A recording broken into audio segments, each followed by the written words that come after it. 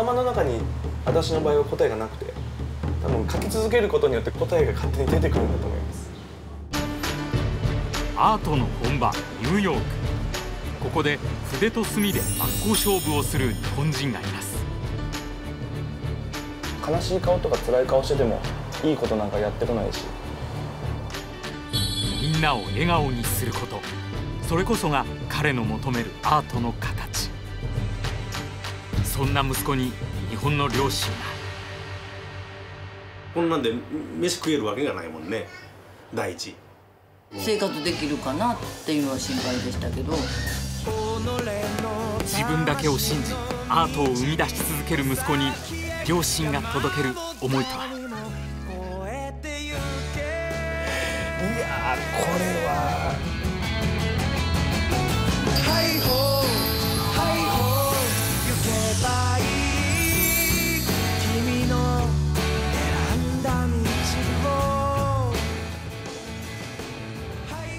この番組はパワーウィズハート関西電力の提供でお送りします。はじめましてあのグッドチビの山口と申します。どうもよろしくお願いします。どうぞお願いします。お父さんどうですか？どういうところなんか気になるとことか見てみたいな。全然ねあんなミミズの包帯の字書いてね は生活できるんかなと思いますもともと僕は反対やったからね。ああお父さんは反対されてあれではご飯食べれんからね普通半分は感動状態ですわ。お前はもう勝手にせえっていう感じですわ。行く言うたしか聞いてないからね。えええええニューヨーク行くえはそう息子のこと思ったらやっぱり自分の仕事も手につかんしねはい。あまあだから心配がゆえにはい。そうなるわけですけど思もわんようにしてますわ。見てみましょうかね。はい。はい。タイサンさんニューヨークです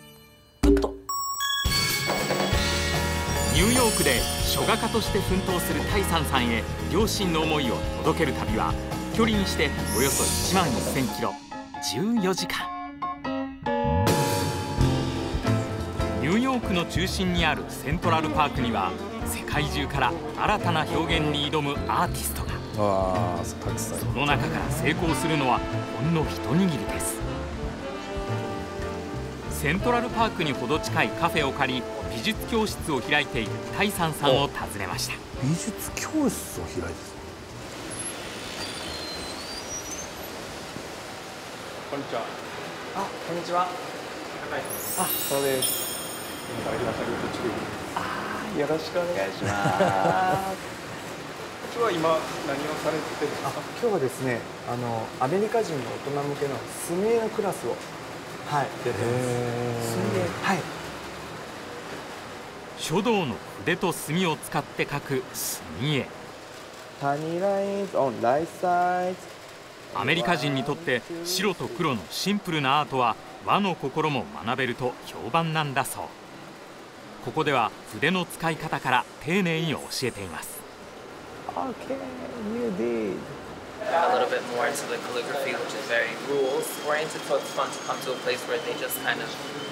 Pen to the paper and make whatever you want to make. 意外と自由なんだ Have a good night. Bye.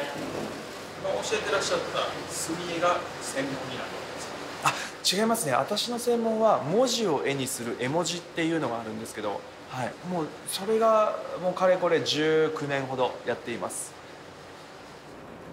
早速その絵文字を見せてもらいます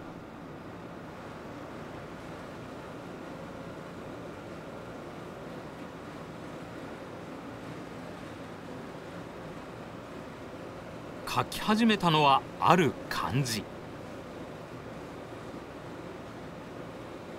そして絵も。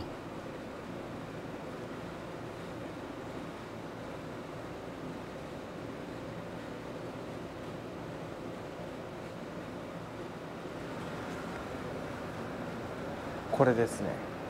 この文字を絵にする「感謝」っていうのを書かせてもらったんですけど「ありがとう。いつも笑顔でみんなにありがとうをしていると幸せもたくさん咲いてくるんですよ」基本笑顔とか花とかそういうので作品を作ることが多いですね。黒と朱色の墨だけを使う絵文字。絵文字の絵は笑うという漢字。タイサンさんが19年前に作り出したアートでオーダーメイドで注文を受けています。ニューヨークに来て3年自宅は日本人も多く住むクイーンズにあります。いい感じのとこやな。I'm shooting right now. They're from Japan. こちらは1階に住む大家さん。この家の2階をシェアさせてもらっています。た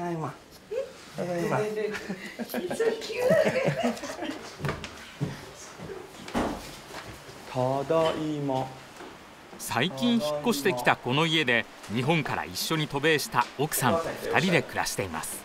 妻の智子です。はい。智子です。こんにちは。絵文字と呼ぶタイサンさんの作品には彼の並々ならぬこだわりが詰まっています。悲しい時とか辛いことってほっといてもやってくるじゃないですか。でも楽しいことって自分が落ちた時に誰かが「よいしょ」って持ち上げてくれないと楽しくならないから。うーん。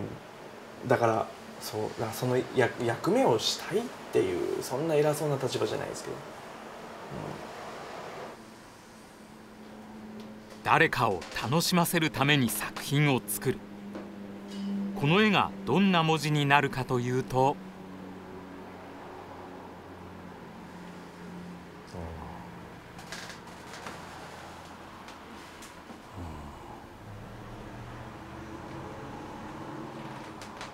笑うっていう笑顔ね笑うっていう感じを笑顔の花がたくさん咲いて嬉しいねっていう。笑顔っていうのが結構ポイントだったりするんですか？はあ笑顔テーマですね。やっぱりあの人生笑ってたらきっといいことがあると思うので。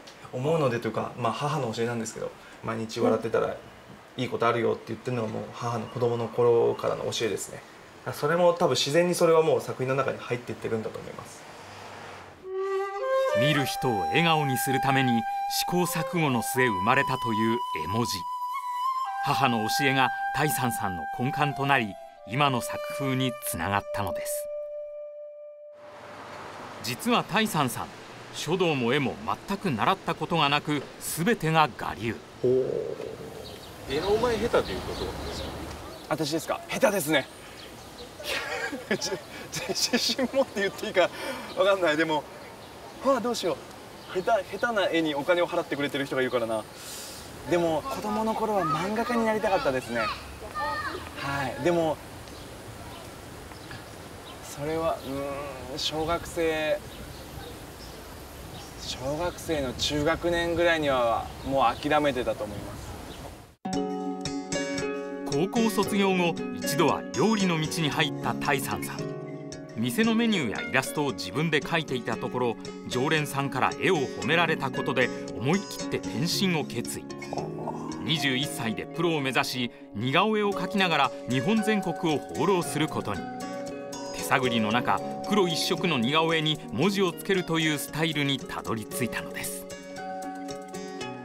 いろんな似顔絵の人見てきました。でもあなたがいい一番いいと思ったから戻ってきましたっていう人が一日に何人もいましたね。でその理由を聞いたら絵に字を添えているからそしてカラーじゃないからって言われました。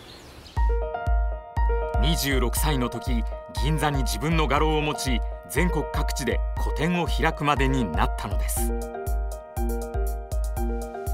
しかし予想もしなかった不運が。このままだったらあと1年以内には死ぬからあのちゃんと健康管理しっかりしなきゃいけないよって言われてパワービズハートできない。その涙もその汗も頑張れ。きっとあなたの味方になるから。頑張れ。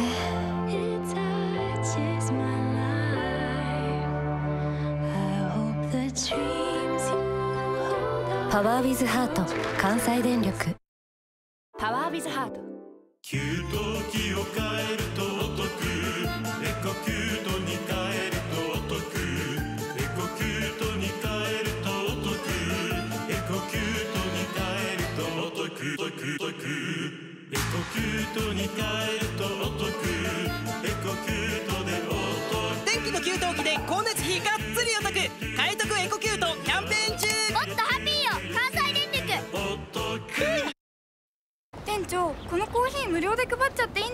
一度でも飲んでいただければ香りが美味しい。飲みやすい美味しさが伝わるんだよ。それって素敵なことだと思わないか？飲めばわかる美味しさ。4日間だけ無料。本当に当たったんだ。3億円。家族親友3億円。全てを失った男が見つけたお金の正体とは？お金は人を変えてしまう。億男。クリアポスター付きムビチケコンビニ券ローソンのロッピーで予約受付中書画家として日本で順風満帆だった大山さん。しかし予想もしなかった不運が。35歳の時にお医者さんに「あんた糖尿病だよ」って言われて「このままだったらあと1年以内には死ぬからあのちゃんと健康管理しっかりしなきゃいけないよ」って言われて。病気をきっかけにそれまでの人生観が変わったといいます死ぬかと思ってだったら自分のまだ何にもこのアーティストの活動として何にもやってないなと思って残ることしたいなと思って考えたらやっぱりニューヨークはアートの本場なのででここに来てみたいなと思って。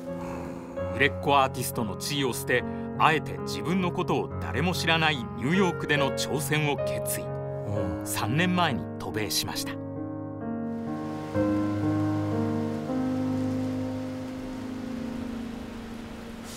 この日は依頼された一風変わった作品作り。描いているのは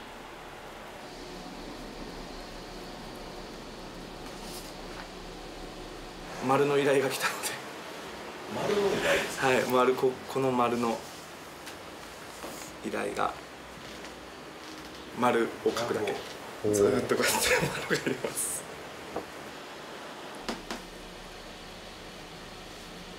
朝から丸を描き続けて1時間。最近絵文字ではない仕事も増えたそうです。この中から選ぼうかなと思ってるんですけどね。ともこさんアドバイスを。ああそれで奥さんに迷った時頼りになるのは妻の智子さん。1個選ぶならどれ？これ？これだ嘘これはもう一番最後に紙が残ってて何も考えずにうん。へえそういうもんなんだ。最後かって思って書いた。うん。なんとなく。すごいな奥さんも。出来上がった丸を持って納品先へ。よく仕事を依頼してくれるお得意さんです。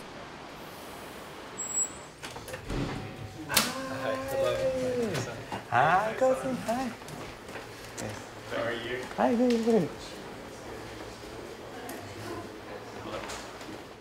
こちらは日本でいうお寺。そうですよ、日本で修行したアメリカ人の住職さんが仏教の教えを説いています。依頼された丸はお寺のチラシとして使われるそうです。へえそういうのあるんだ。ああ、青リスト。Absolutely stunning. Beautiful. Beautiful. Taisan's uh, artwork, I just was like so, so very different. His brushstroke is much more, is much stronger and present. 最近ようやく依頼が増え作りたい作品を手掛けるようになった大山さんしかし3年前この町に来た時は仕事は全くなかったといいます思った以上にね相手にしてもらえなかったからやっぱり辛かったは辛かったですね。そんな時心の支えになったのはいつも笑顔だった母の言葉でした。人生いい時もあれば悪い時もあるよ。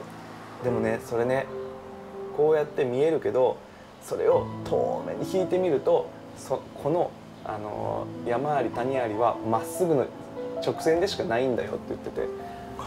だからいい時も悪い時もあるように見えたとしてもそれは単なる直線なんだよ。その中でしか動いてないよって言われてあそうかじゃあ自分の心持ち次第で上がったりも下がったりもするんだなっていう。うん。は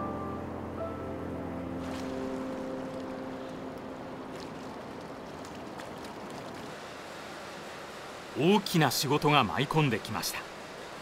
8月9日に開催される原爆追悼イベント。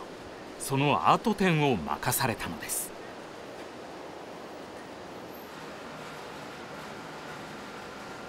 会場の壁に飾る巨大な作品。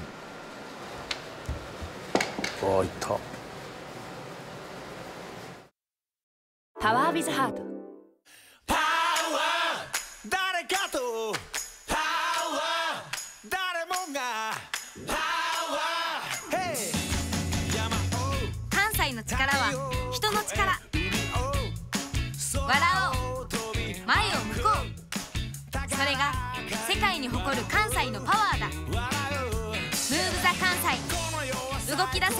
関西の力。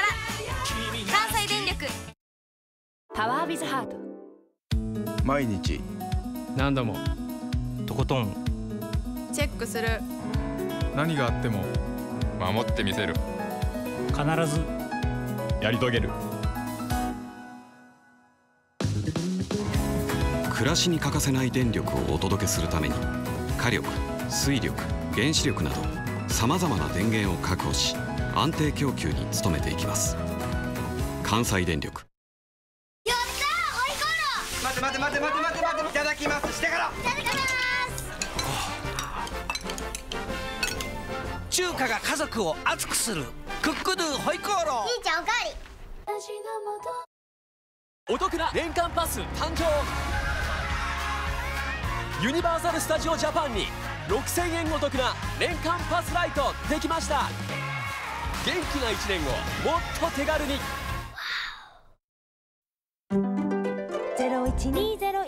二重まぶた6万円。上まぶたのたるみ取り6万円。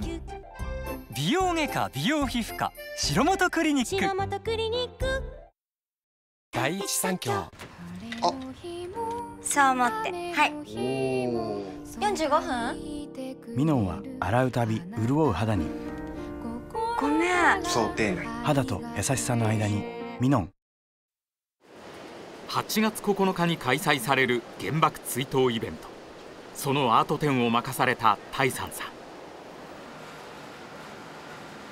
会場の壁に飾る巨大な作品を描きます。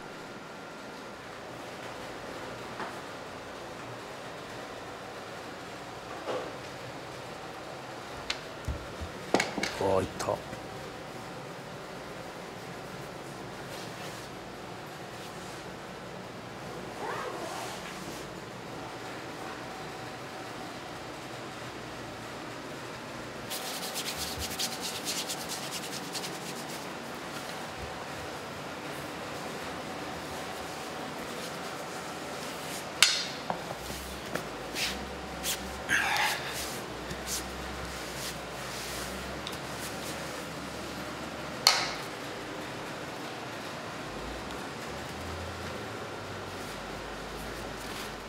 書いたのは仏画。そして平和へのメッセージです。未来と永遠ですね。右の作品のテーマは未来。でこれはまあ未来に向かって伸びていく。蓮の花に乗ってるんですけど、そして左の作品は？これはもう永遠なのでそのそれが末永く続くように円を描いている感じで天からこう温かく包んでくれてるような。くったくないですね作り終わった後はいつもやっぱり作品には100%以上で立ち向かわないと見たお客さんね見透かされてしまうから。平和を願うこの作品の前でライブペイントのパフォーマンスも行います。原爆の追悼のイベントですけどお客様に楽しんでいただくことが一番だと思っているのでお客様の反応が楽しみですね。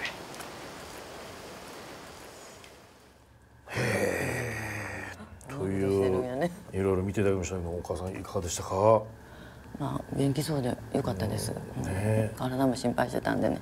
そうですね、でもあの最初行った時はほんまにもうくじけそうになった,、ねなったんでしょうね。今見てても言ってましたね。その時に支えになったのはお母さんの言葉やと。私全然覚えてないやけど言うたんやね。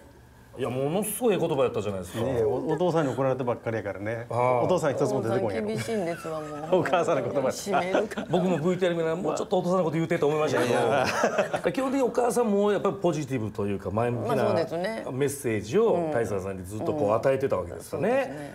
あんまり暗いのねすぎ違うからいやー素晴らしい。だからそれを受け継いでらっしゃるんで、実家に帰ってきている時に頼まれた作品をちらっとね書いてるの覗いたことありますけど、やっぱり人の作品見たら怒られます。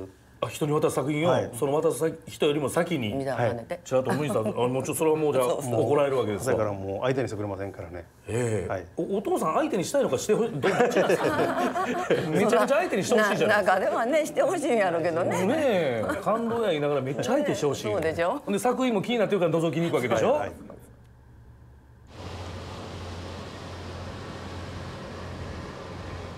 8月9日ニューヨークで開催された原爆追悼イベント。全米各地から多くのお客さんが集まりました。タイサンさんの作品は4点。そしてこの前でライブパフォーマンスを行います。本番で緊張はしないタイプですか？あ書くときは緊張しないんですけど多分書く前と書いた後がすっごい緊張してるので本当もう平和への願いを込め漢字一文字を書きます。Uh?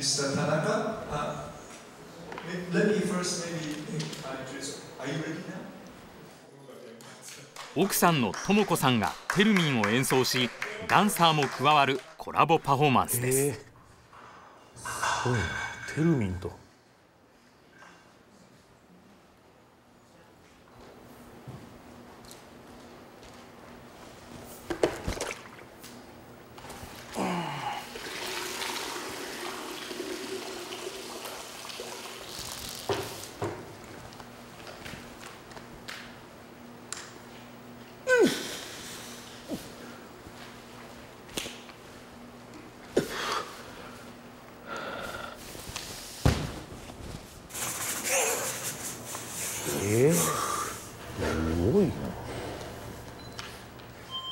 最初に書いたのは糸。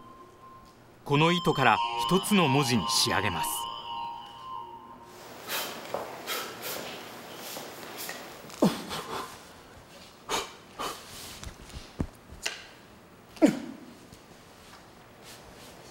完成したのはつながるという漢字。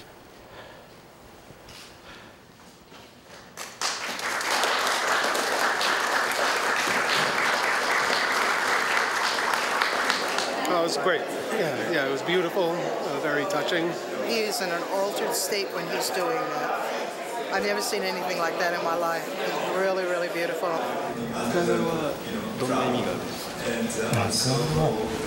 その命のバトンをつなぐというかあのやっぱりその今回は原爆の追悼のイベントなんで今こうやってみんなが平和を努力して作ってるのであればそれを後世にどんどんどんどんつないでいこうじゃないかっていうのでつなぐっていう感じを選びました。はい。パフォーマンスが終わりその文字を改めて見るタイサンさん。違う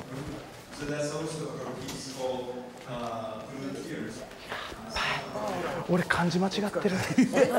ひ左車やあれ。うわーテンパった。漢字間違ってる。左上車や。うわ俺今気づいた。uh.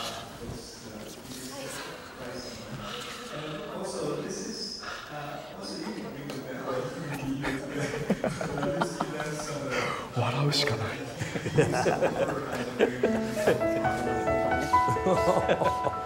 ニューヨークで書画家として奮闘するタイサンさんに日本の両親から届け物です。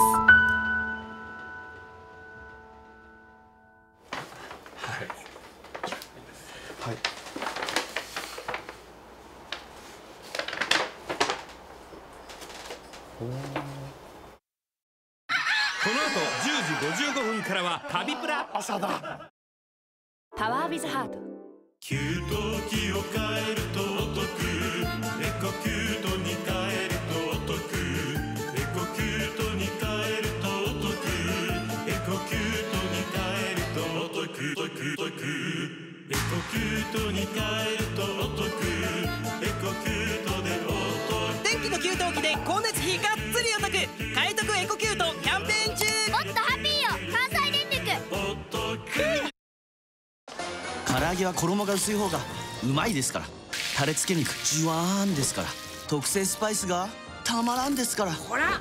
味見ですから。味からジュワン鶏もも味の素冷凍食品。鶏胸も。フレッシュフローズン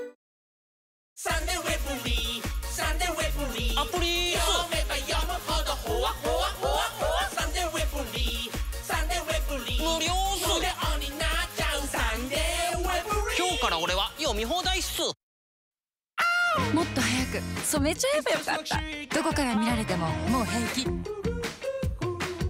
このツヤがこの仕上がりがウェラの大人髪輝け大人髪デビュー。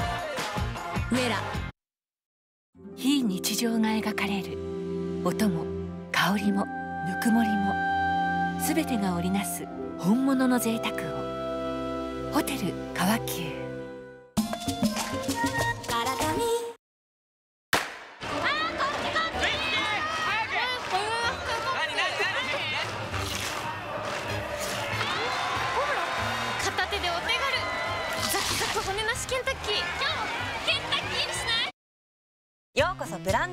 ネットでお申し込み後段ボールが届いたら洋服コートバッグをまとめて送るだけ。しかもブランディアなら速攻査定。まとめて早い。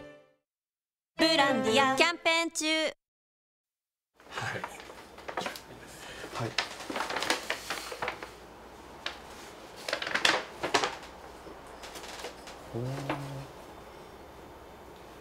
これは見たことないな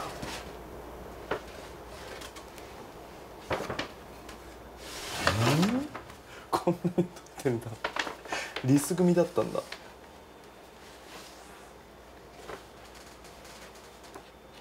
うわわかるわかるわかる。届け物はタイサンさんが子供の頃に描いた作品。絵を描くのが好きな息子。そしてその絵が大好きだったお母さんが大切に取っておいたものです。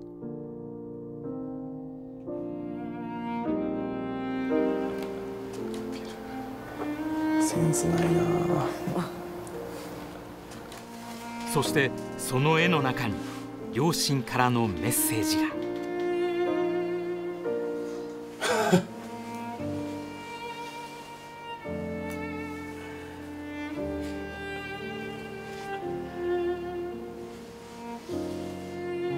ここ多分ここ母でここ父ですよね。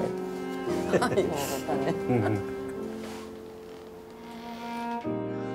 いつも厳しかったお父さんが今の息子への一言。お母さんがいつもの笑顔。息子の作品をちょっと真似て描いた両親からのメッセージです。これ深いですね。初心忘れるべからずってきっと。この仕事を始めた初心じゃないのかもしれないですね。子供の頃の気持ちなのかもしれませんね。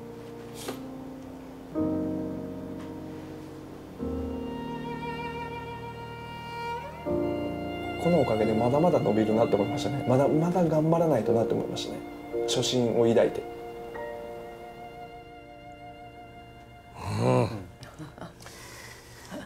今後どうですかねお父さんの気持ちっていうのは。まああの天狗なんなと大きいメッセージありましたけども、はい、もう皆さんに迷惑かけずに、はい。まあ、これからも頑張ってやってほしいと思います、はい。